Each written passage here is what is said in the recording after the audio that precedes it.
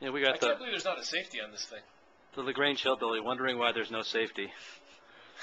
Mr. John Schmitt. The suddenly safety conscious Lagrange Hillbilly. All right, here we go. And we're going at the orange Gatorade bottle. And he's going to tell me when he's going to shoot so that we make sure that we don't jerk. I think he got it. Nailed it.